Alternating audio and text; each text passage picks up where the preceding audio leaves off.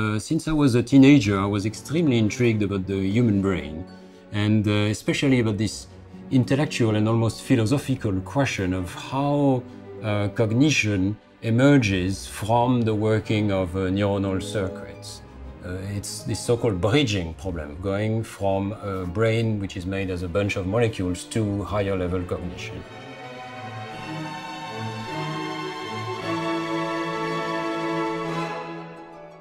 We seem to be the only species uh, that develops a sense of exact number. Uh, we can think about number 37 and think it's a prime number is very different from 38. Uh, but uh, animal species can never do that. This symbolic ability of the human species must have specific uh, biological roots, and we're trying to uh, understand what these are, and also trying to understand what is the effect of education on the human brain.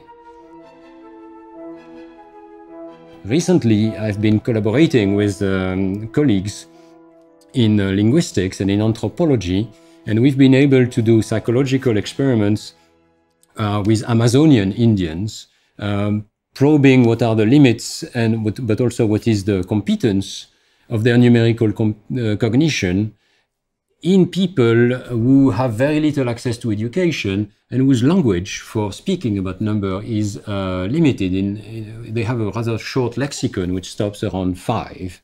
Um, so uh, we've been able to show both what is universal about number. We definitely know now that there is a universal sense of number which, which is shared by infants, animal, and continues into adulthood.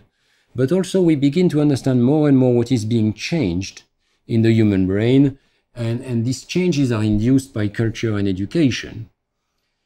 The whole stream of research um, should ultimately uh, contribute to uh, the education domain.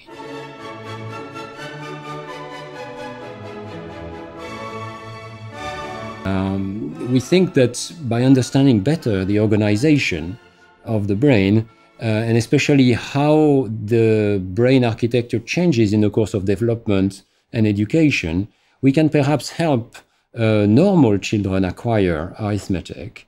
And we've begun to develop software to facilitate the acquisition of number sense, and especially number symbols, in young children. But there is also a very interesting condition called developmental dyscalculia, which is very much like dyslexia in the domain of numbers. And uh, children with dyscalculia uh, can have a very selective deficit in understanding what arithmetic is about.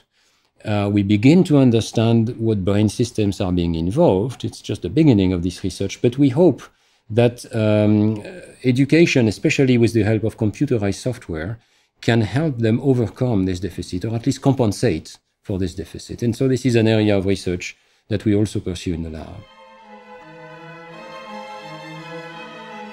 Uh, so, so we're very lucky to be in a moment in science where we have new tools to study brain organization. And in this building in particular, uh, we are very lucky to have a completely new building, which is entirely dedicated to brain imaging of various forms, from electrical imaging of brain waves, magnetic fields of the brain, and also uh, the functional and anatomical organization of the brain, as can be seen with magnetic resonance.